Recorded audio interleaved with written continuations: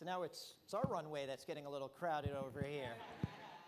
Um, well, first of all, you know, this film is about many things, but one thing it's about hospitality and treating, uh, you know, welcoming strangers. So, as we native Manhattanites like to say, welcome to our island. um, let's start with you, Peter. Um, you know, obviously, in the coming days, many of us, particularly those who uh, live through the experiences here in New York, will our memory will sort of go back to where we were on that on that tragic morning. Um, and while we all know where the three of you were, uh, where were you on the morning of 9/11? Uh, actually, I was on a, uh, a, film set. I was working on a show, and my um, wife called me as, a, as I was going in, and uh, she told me about a plane hitting a building. And um, you know, I, I kind of thought it was some small little plane, like everyone. And then, you know, we got the set, and there was a someone uh, talked about it. We got a TV, and basically no one did anything the rest of the day. I was just glued to it, and uh, uh, it just sort of, you know, it's left a a mark on all of us, and uh, it's incredible that sort of uh, 18 years later we're able to uh, talk about it in a different kind of way. The story of, of uh, Gander, I think, kind of got overwhelmed by everything that was going on, as it should have uh, at that time. But I think over time we've been able to kind of find out about it and um, and and share it. So I'm very happy about that. Sure. How, how about you, Moze? Where were you on the morning of 9/11? Um, I was in my apartment building, and um, and I um, hadn't seen anything um, as of 8:45. I hadn't heard anything, and um, I was going out of the building, and the concierge um, was coming into the building from the driveway, and he had this look of absolute horror, and I knew something was really wrong, and I said, uh, I said, Woody, what's wrong? And he just went, uh, uh he couldn't just speak, you know, and, um, and, and, I, and he said, go, go watch TV, you know, and so I said, oh my God, something's terrible has happened, you know, so I went back up to my apartment, and there it was, you know. Yeah. Peter, you know, you're uh, Canadian from Toronto. Uh, had you wanted or set out to make a, a documentary about 9-11 or if it was specifically the story of gander that attracted you to this story uh, Moze actually called me i was uh, getting on a plane on this other project that was driving me nuts and uh, I was really sort of wanted to quit doing what I did. And I said uh, Moze was being very forceful to get me to uh, to work with him on this. And I said, unless it has to do with blooming flowers, I'm not going to do it. And he said, I have something that's just like blooming flowers. and uh, and it became this film. And uh, like I said, I've you know traveled because work all over the place. Uh, Newfoundland is like sort of place I never had traveled to. I have a neighbor across the street that would just tell me constantly how great Newfoundland was, and so I was like, yeah, yeah, yeah, yeah. And so it came about, and then when we went there, I think sort of, uh, I, I, think Moze felt the same way. You know, we'd heard so much about people from Newfoundland, and when you go there, it's even more than whatever sort of you could imagine. And uh, you know, we've made great friends with people there, and uh, they're incredible, uh, credible uh, people. And like Manhattan, they're on an island, you know, so it's kind of funny that they connected on that day. Absolutely. Uh, now, having lived through these events, what is it like reliving it, uh, watching the film? I, I think so. I, I feel the same emotion of a loss of so many lives and it is sobering, even to watch it today. For me, it's a little different. It's weird. it really is because we, as as uh, a Ganderite, as a Newfoundlander and Labradorian, we still don't think we did a lot. We felt we only did what was right, what needed to be done, and we just did it. And we were not expecting anything from it. And that was the this is a shock for us the way that it's, it's, it's ended up. Wow. Do you want to add anything, Nick? Sure. Every time I see this, I've seen it probably four times now. Um, there are certain parts of the, the movie that, that have me, uh, m- my eyes start leaking. Uh, yeah. And that's not normal for me. I can imagine. it is for Diane, that's why. Now, uh, you know, well, I guess what people may not appreciate is that, you know, once the, uh, once the airlines, once the uh, airplanes left, the story of Gander didn't end, and I assume it attracted, you know, media attention and then obviously film crews. I mean, was there ever the point where you were saying, don't turn off the stoves, more people are coming? Uh, you know? No, not really. Uh, we, you know, uh, right after 9/11, we did get some media attention, but then it seemed to die off. Then Jim DeFede wrote the book, "The Day the World Came to Town," and we were noticed a little bit then. Uh, but uh, and then Tom Brokaw with its with his uh, special on after the Olympics, the Operation Yellow Ribbon. Uh, there was a lot more, but it's the uh, play Come From Away, and now you are here, and the you are here is really, you know, part and partial of Come From Away. It's the two of them are almost like they're married, like those two. Well, I want to bring some of the folks from the play in. Um, I guess a two-part question. Anyone, feel free to answer. One was, were you aware of the story of Gander before you became attached to the play? And, and also, what is it like, particularly, you know, seeing their stories, uh, was the sense of responsibility of playing these real-life people? And, you know, what is that like uh, on a nightly basis? I'll start. Okay. Um, I knew nothing about the events that uh, occurred in Newfoundland um, on that day or the following days. So uh, when I first read the script uh, for the audition, I was blown away, I think, as, as anyone who hears about the events would be. Um, and I also wondered how is this going to be on stage? How is it going to be coming from this page to something that will be up on its feet? Um, and, and, to get to do that now over 1,200 times with so many of the same cast members, and we get have been to Gander and met everyone, it just becomes this incredible family. Uh, it's, it's, I feel like I've just been so blessed to be uh, brought into this family and getting to tell this story of the generosity of these people and the, the relationships, the family, the, the love, the joy, the hope. Getting to do that uh, eight times a week in the world that we live in is a very good thing. It's very honorable, and, and I feel very blessed.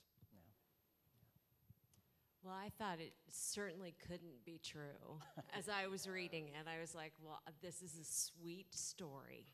And then, you know, you come to find out it actually is all true. But I do remember reading it, and as I was going through the pages and their storyline was developing, I kept thinking, oh, I hope they get together.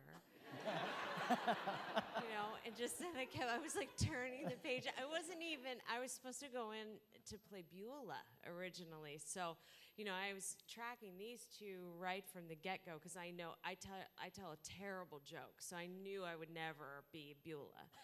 And so then when I, after I did the audition, they called back and they said, we'd like for you to come in for Diane. I was like, well, now I got a fighting shot.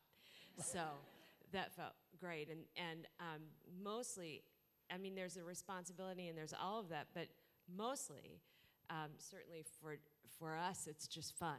We have a, a terrifically fun storyline to get to tell every night. And um, honestly, I'm just glad that this all happened because I haven't seen them in a really long time. And I was really, you know, they've been off meeting other Nick and Diane's around the world.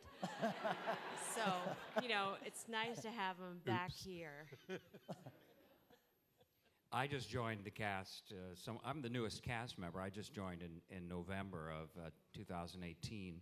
Uh, and so uh, I, d- I had no idea what had happened in Gander. And so I saw the show and was uh, moved and auditioned, and here I am. And I just met Nick and Diane last night. So I'm, and, and, they'll see the show tomorrow night. So I have some work to do tonight, Wow. I suppose. But And he gets to fall in love eight times a week. No, it? but it's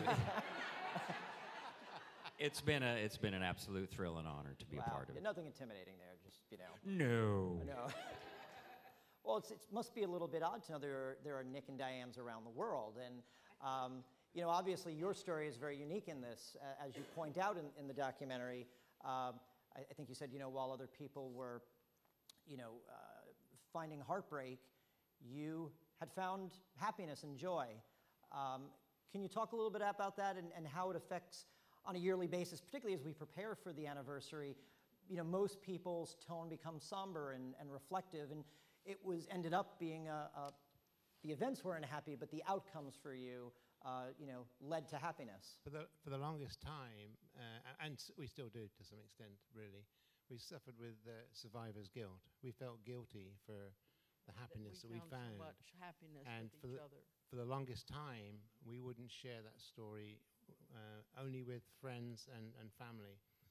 Uh, it wasn't until Tom Brokaw, uh, they found us through the mayor of our town who wrote a song for us. When we went back for our honeymoon, 2000, uh, September 11th, 2002, the day after we got married, and we were there for the first anniversary. Th- There was a commemorative um, service at the airport, and the Canadian uh, Prime Minister was there, the ambassadors, and the media was all over everything. They wanted to talk to us, and we refused to talk to anyone.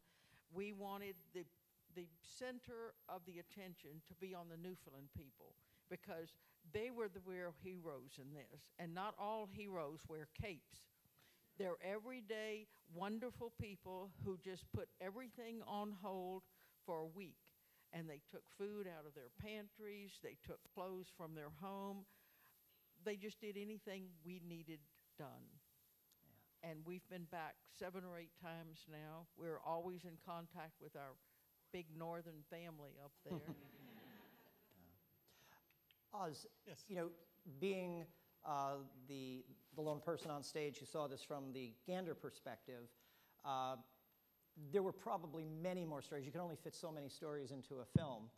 Uh, was there one particular experience during those five days that stands out to you, whether it's in the film or something that was never captured on film? Well, the one that, that really, and it was uh, talked about a little bit about in the film, was the Wish Kids. Uh, and they were from London. They were in on Virgin Airlines. There were 60 of them at St. Paul's. And I had no idea that they were, we knew they were there. I mean, I knew there was kids there, and they were out playing soccer, and they were, they were doing stuff, and they were going for rides on ponies. They were doing all the things. It wasn't until Kelly Sevier called me and said that they were there. And then when she told me that there was a, uh, uh, six young girls, and uh, they were on, wanted to go to Disney World, they were terminal. They wanted to go so bad, and it looked like they weren't going. And it was the the it was how the party was set up. I mean, we did do it for 315. We were turned down in the beginning because they didn't want to have party for six, and there was uh, 54 others. So I just said, well, heck with it. We'll have party for 350. I don't care. So we did uh, get, uh, you know, we, we did get all the, as a matter of fact, Commander Gander sitting just up there, my daughter Lisa.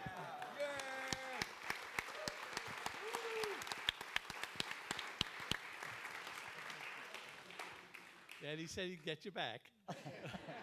uh, uh, but, you know, uh, she did dress up as Commander Gander. We did get uh, uh, Mary Brown's chicken. We got Whitey the Milkman. We got whatever it could, because the idea behind it was Disney World, right? And its mascots. So we figured that.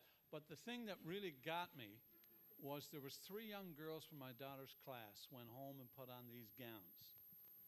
And they went to the school because the young girls wanted the fairy tale style princess Tinkerbell uh, birthday party. So they went to the school dressed as princesses and told the young girls that Tinkerbell had phoned them and sent them to the school. Wow. Well, And, and that was, and yes, and the way that the father spoke to me, he did, you know, he told me that that, that was the message he wanted me to pass on to everybody at the school, that it was okay. Wow. And that sound rings in my ear all the time. I, I remember that. Some nights I sleep and I, and I can still see him standing in the doorway waving me over. Wow. Well, for five days, I guess Disney World was the second happiest place on earth. Yeah, Yes. absolutely. Um, Peter, you said something interesting in the back, and I wonder if you just, you know, unpack it a little bit. You know, you said when this film is, it's, it's very hard because you're dealing with such a tragic uh, series of events. Uh, but I would call this film almost a very joyful film. And there's an irony, there's a paradox there. And you, you said something about, uh, you know, it needed a certain amount of time before a film like this could be made. Can you talk a little bit about that? Well, I, I think, you know, like anytime there's a tragedy and they happen in all our lives all the time, it might be sort of a death or divorce, a bankruptcy, whatever it might be, it takes a while uh, to get over the pain and hurt of it. And uh, And after a bit of time, you remember the good things in it and try and see some positive out of it. And I think, you know, if our, uh, the musical or even our film would have come out 10 years ago, I think it's too soon. I think sort of it doesn't give people a chance to sort of, um, you know, understand or see it from different ways. And uh, I, I think it's, you know, we've been kind of humbled by the kind of uh, response that we get uh, when the film plays because it's kind of a cathartic experience. It's, it's, it's, you know, it's a, a kind of innocence that was taken away that day from all of us, and it's never really been kind of dealt with. But that kind of thing is gone now, and uh, you know, the thing is, is that no matter what tragedy happens, and we're all going to face them, uh, there's a way of being able to find something positive in it, and to do that it gives us the hope and faith to kind of keep going on when we think we can't.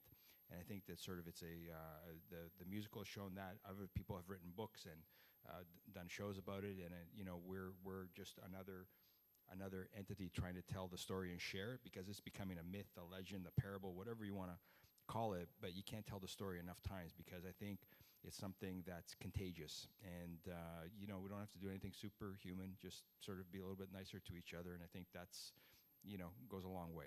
Yeah.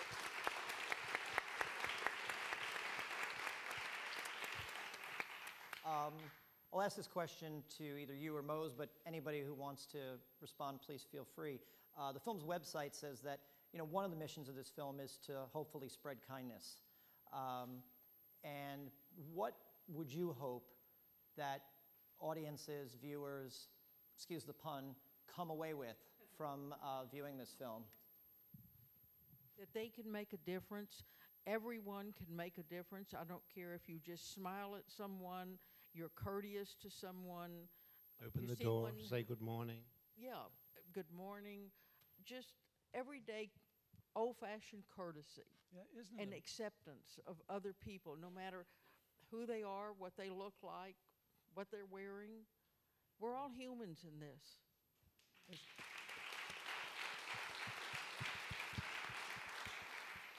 Isn't it amazing that a four letter word can be so positive, the word of love? And that's all it is. We love our fellow man, and that's the way we were raised.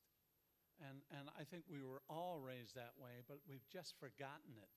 And what this film does and what the show uh, Come From Way is doing is reminding people. I think they're looking at this show, they're looking at this film and going, oh my God, I remember when I was growing up, that's the way it was. That's the way we should be today. And, and I think that that's the message that this film and Come From Away is giving people. Yeah, absolutely. Well, speaking of giving, we want to give the audience a chance to ask some questions. But before we do, the most important question, talking about seeing this movie, how can people see this film and what can they do to help other people see Why do this you bring film? that up? Um, Wednesday night at 7 p.m. all across America, uh, every state, uh, there's a movie theater that will be playing You Are Here, a Come From Away story. Uh, if you go to youarehere.doc, D-O-C, dot com, uh, you can uh, find a theater and tickets nearby. Or if you go to fathomevents.com, you can get uh, tickets, uh, find a place nearby. But I want to sort of ask, plead, I'll even beg. Tell your friends, tell everyone. Uh, they won't be disappointed, and uh, and we really need your support.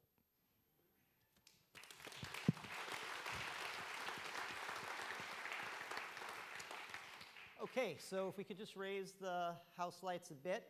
There's a microphone over on that side. If anyone has a question uh, for anyone on stage, just ask if you could make your way over there. And actually, while people are lining up, I understand that um, we did run out of uh, runway space, but I do understand there are some Ganderites and uh, some come from a ways in the audience. So if you could just raise your hand or stand up so we could give you all a hand a round of applause.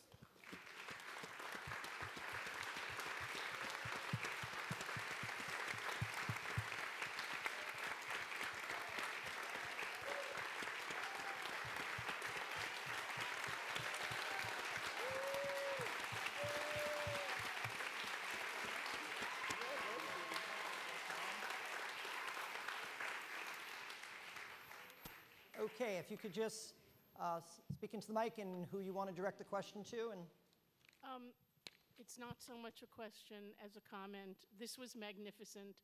I, I'm a New Yorker who lives in Los Angeles, and I was in Toronto on 9 11 making a movie, as was Peter. There were five American actors and three American crew members, and the rest of the, the cast and the crew was Canadian. I cannot begin to tell you how loving, how kind, how supportive, what incredible care they took of us, the Americans, as this happened. We were shooting at a little train station an hour outside of Toronto as the news started to come in, and we were devastated.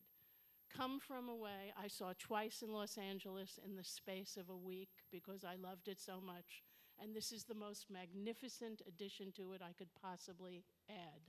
Thank you so much for this film and for Canada's love. Thank you.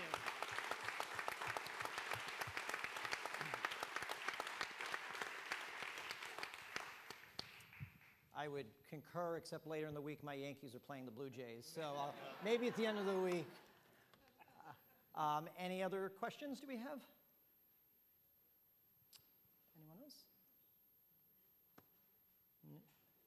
Anyone up there? Someone up there? Yes, if you could. I'm sorry, I didn't hear the question.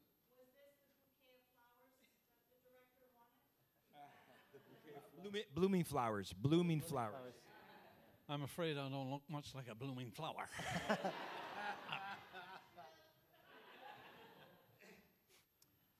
Uh, yes, sir. Hi, um, my name is Dominic, and the question I have for you is sort of looking beyond the American and Canadian context. It Seems to me you have an opportunity to really build some bridges across the world, to the Arab world, to the Islamic world. What has been your uh, exposure with Come From Away, with You Are Here, to uh, the world outside of uh, this part of the world? Well, we've been, we, there, right now, there's five casts that come from away going. Uh, there's the, of course, the one in New York. There's one in Toronto. There's a North American tour.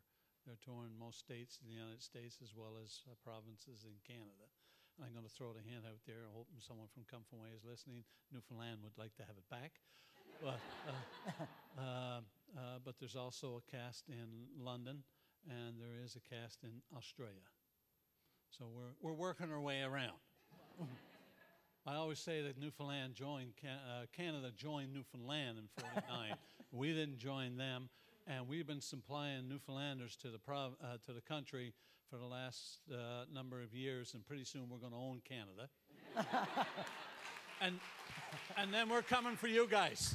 Remember that. We're coming for you. And how about You Are Here? Well, you know, uh, I was just going to say uh, th- the countries that they are leaving untouched, we're going to go after with Netflix or Amazon or Hulu, and so uh, stay tuned. Uh, the film keeps growing, and the, the uh, it's like a growing army, and so people want to uh, tell their friends about it, and we want to get it around the world because I think it's a good good thing to put it out. You know, you, you dream your whole life of coming up with a, you know, working on a story that was going to have this kind of effect on people. We've been lucky for whatever reasons to to be brought into this world, and uh, if you can share it, uh, that's uh, that's that's why we all get into it. No, I, I honestly did had no expectation the film would turn out the way it did, you know. Um, but I, I just want to uh, add that uh, my own life changed because of this, uh, of, of you people, and an experience of making this film. And um, in a small way, in just the way I treat my sisters, my mother, my father, my associates, you know. So um, what, I, what I learned from you um, was to be more patient, to be more tolerant, to be more loving, to be more giving and empathetic, and, it, and to reach that in my heart at, at all times. So um, um, that's, that's what happened to me.